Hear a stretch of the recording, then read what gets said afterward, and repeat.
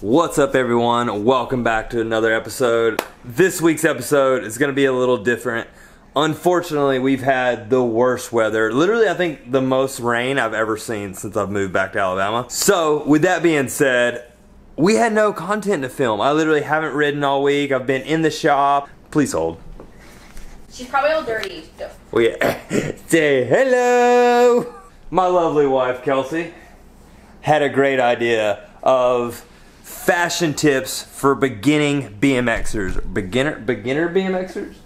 People who are new to BMX. I just think, okay, what if we were just like all of a sudden like, you know, there's a professional bowling arena near us. Let's start bowling. Okay, what do I need? What do I what do I wear? If I was to start BMX, like I wouldn't know like where do I buy a jersey? Do I just get my bike from Walmart? Do I get my jersey from Walmart? Do I go to Dick's? So we're gonna go over that. We're gonna teach you guys how to look good, whether it's your first race or you've been racing for a little bit, and we're gonna make sure you're checking all the boxes so you're looking good when you get on that gate. Stakes are high, but the ship is low. Still ride. You have to just So we're flow. heading down and go Yeah, down. flow all into one flow. Oh, that was a good moto. Yeah, good moto. no. No. Anyways, let's get into this. First up, we have new uniforms, courtesy of Fly Racing. I'm just gonna lay it out. Okay, but I do have a general idea now from watching you. Mm-hmm. How do you spot a noob? Present yourself. Wow, wow, wow. Does that look good? I'm all murdered out. First of all, your helmet's not even buckled. What? Why do I? Need, I'm not going and riding. Well, we're they don't know that. For the kids who have trouble strapping their helmet, these little quick release mounts are a game changer. I've literally been recycling this one for years. All right, let's get into it. First off, give me a 360. Turn around fully. Mmm, what do we see? What do we see already, kids? And if you don't see it, you're probably the kid that does it. Then you need to watch this video. See how the goggle strap is way too low, which actually, as much as it actually looks goofy having a low uh, goggle strap, the helmet actually has a groove in the back so it sits properly on your face. If it sits in the groove that's made on the helmet, the goggles pull on your face evenly. If you pull them down to your neck, you're gonna pull the goggles this direction and they're not gonna sit on your face properly. I see this one all the time at the track. This is the Fly Racing Werx helmet. There's a groove here and a groove here. That's where you want your goggle strap. Your goggle strap should never be down here by your neck. One, like we said, it doesn't allow your goggles to sit properly. Two, you're that guy with the goggle strap all goofy. Sorry to say it, every one of the pros behind the starting hill sees the guy with the goggle strap too low. Figure out where it goes, feel it with your fingers, know it, and leave it in the right position. So we're just gonna work our way down, head to toe. Out of all this, these are the two most important. Having your goggle strap right, and second, your visor. Pop that visor up, kids. Not only does this just look really goofy, you don't want Yeah, I could see it. yeah, let's let's just go all the way down. No one wants to be this kid. You know, you don't want to be that kid. Pop that visor up. One, this looks so much better. Two, exactly what Kelsey said a minute ago. If you've done any of my coaching clinics, one of the first things I say is head up, we're looking in the direction we want to go. So if Kelsey is coming out of a turn like this and looks up and she's seeing the bottom of her visor, that's that much further down the straightaway she could be seeing. All right. So I have a question regarding that. Okay. What's the point of it? What's the point of what? The visor. No, we just we just don't know because because that's But I what can't it see looks it. Just because it looks Because it looks because you we don't race we don't ride bowling balls. That's like a big bowling ball. well, we don't do that. I know somebody named Bart Wayne who doesn't have a visor. He's got a little visor oh, actually. Oh, okay. And kids, if you have your helmet too loose, it's you might as well have it undone. You have you don't have to have your your strap tight right against your jaw, but you want to have enough where you can't pull your helmet off. If you can pull your helmet off, that means your strap is way too loose. And if it's way too loose, say if you go on the turn, you hit elbows with another rider and you high side, and one, hopefully it doesn't come off right with the first sling, but if you hit your head on the asphalt turn and then bounce or whatever, I've seen helmets go flying, whether it's in turns or straightaways. And kids, that just Protect your dome. yeah, just protect your dome. Like I've been doing this a long time, and I have hit my head way too many times. Fortunately enough, my parents always made me wear helmets. So I was always pretty good about that. But I never, One- I never used to think like, like I always, when I was younger, would think, oh, it's kind of lame to wear your helmet. Until I saw you hit your head so many times and how gnarly the effects are with the helmet on. Never in my life will I not wear a helmet. You scared me. Just wear your helmet. I know you're always wearing your helmet when you're at the BMX track, but just wear a helmet all the time. Dirt jumps, pump track, whatever. You can hit your head anytime. Okay. Anyways, what next? What's next? Um, I personally have a question. Okay. Is this supposed to be really loose? Is it supposed to be really baggy?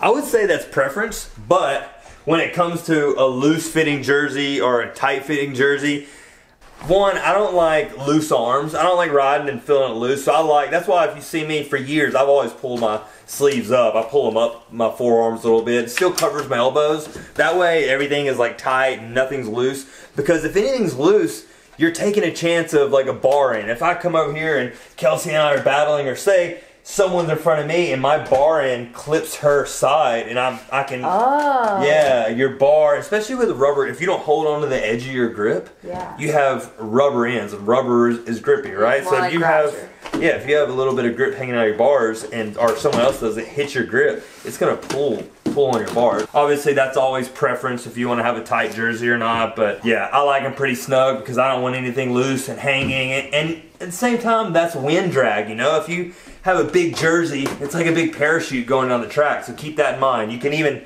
tighten it up by tucking your shirt in.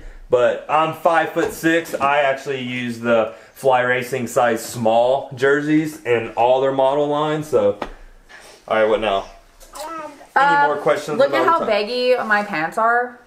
Is this just because, like, I would like Okay. preferably like leggings. What model is it? Let me let me look. Right here, right here. Oh, we still got tags. The on light. So this is the Fly Racing Lite Pant. This is actually a motocross pant, and that's because of this leather patch right here in the knee. I'll show you a little secret what I do with this leather patch. I almost don't like saying this because I don't want you guys to buy these pants and do this tip and then go and ruin them. But if you run your hand on the inside of the leg and use your other hand to pull on the leather, you can grab the fabric on the inside and you can separate. You can feel that there's two layers.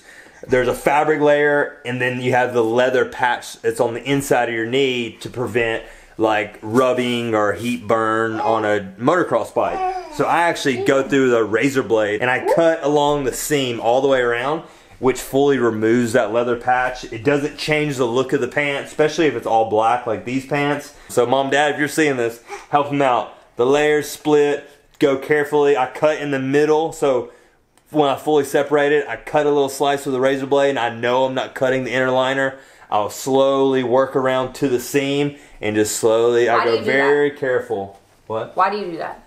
Because it's lighter. Like, it's just a big leather Oh, patch, and we, oh, okay. don't, we don't need it riding bikes. For burn. Yeah, so you don't need that. Since you have these pants, I'll put you in the other pant. The moto pants are a little more baggy. Ah! The bike specific ah! pants is the one I actually ride, ride in all the time, and that's because they're slimmer on the legs all the way down. Let's just go ahead and uh, let's put the race pant, let's put the bike pant on right now, and then we'll show you the difference. Can you untie my shoes?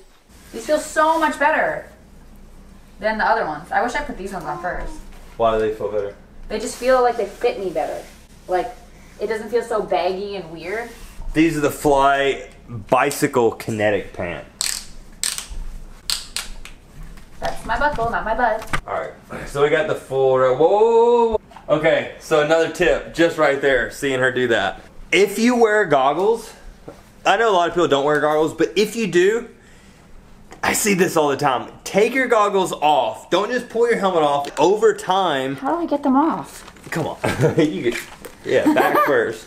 I say that because if your goggles are on the helmet and every time you put them on, when you slide your helmet on, the goggles push down your forehead like this, right? Well, over time, what you're doing is your forehead is sliding on the foam like this, and this foam, no matter what the brand is, this foam is only glued onto the rubber frame of the goggle. So you're gonna start pulling that foam away from the frame, and then you're gonna ruin your goggles. So don't leave your goggles on your helmet and go put it all on at once. A couple times probably ain't gonna hurt it, but I promise you, over time, that over and over sliding down your forehead is gonna slowly rip that foam right off your goggles. These are the fly racing goggles. Oh, what they're called. All right, get up with your new red kit. Let's see. I feel so much better in this one. I feel like I'm ready to just smoke all the moms.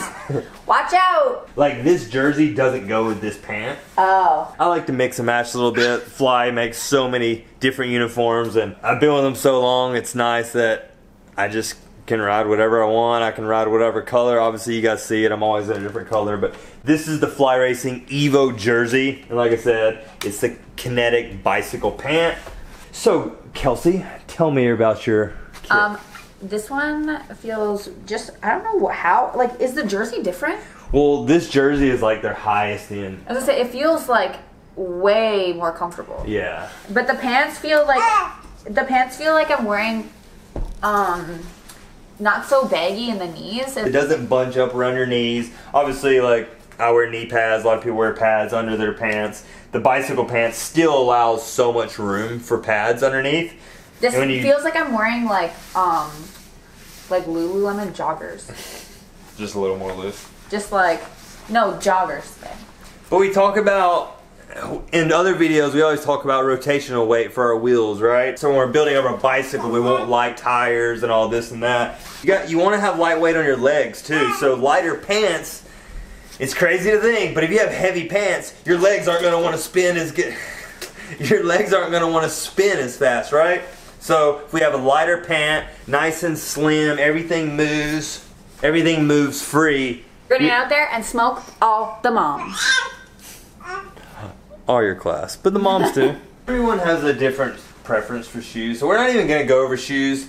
I run the Afton casual look. I like the free ride, the real BMXy. This is my style. I think this is way more edgy and BMX. I know a lot of people wear the dancing tap shoes nowadays. I used to wear them as well, but um, I hated it for so long. But I'm all about the Aftons. They're more comfy, not being so snug. I like tighten them up pretty tight, but not being so snug and tight around my foot. I feel like my foot actually moves a little more, so I have less chances of like coming unclipped if I break form or anything like that. So, but that's everybody else's preference. So we won't go into shoes. Gloves. Let me check you out. Why'd you go black? Look at the black, and I got black. Like that looks good. Does look good, but how good would? No, no, See, I no. feel See, that, no. why I don't like it is there's brown. They, well, this is a different glove. Yeah, see? I just grabbed. a This red looks glove. good. Let me know in the comments if you think the black with this looks Yeah, what do you guys like better? Do you like the black to red to black? Or what if it's just red to. Because I like my sleeves to match my gloves. So it's like one long extension. Unless I wore, like Nashville, I was in all black. And I just did a pop of red mm, gloves. And Yes. that's, I'll switch it up when it comes to that. See, but I, I like, like it all. I like this. You see how loose these are Yeah. for Kels? They're obviously too big, you know? So I see kids quite often that have bigger gloves, but I get it. Sometimes maybe that's just the only gloves you got, and that's cool. But if you have the chance to go and, and fit some nice new gloves, so they're the same size, but look how much tighter. This is how I run a size 9, medium, 9. So nice and tight. It doesn't bunch up. You don't want it to bunch up on your hand because if it's too loose, yeah. See how much she has right on her palm. Luckily, these are the Fly Racing light gloves, and they're pretty thin, anyways. And uh, I have sweaty hands, so I always have to wear gloves. Like that's not going gloveless is not an option for me. And plus, if you fall on an asphalt turn, the gloves are gonna get shredded. At least that first impact, it's gonna rip this layer of skin and probably get in your palm, but you want this first layer to take the blunt of it, and it's probably gonna rip a big hole in the palm. If you see the camera shaking, it's because Willow's grabbing it. So yeah, mine, like I said, I'm 5'6". I don't know how big my hands are, but I wear a medium, which is a size not... Oh, Oh, thanks. honey.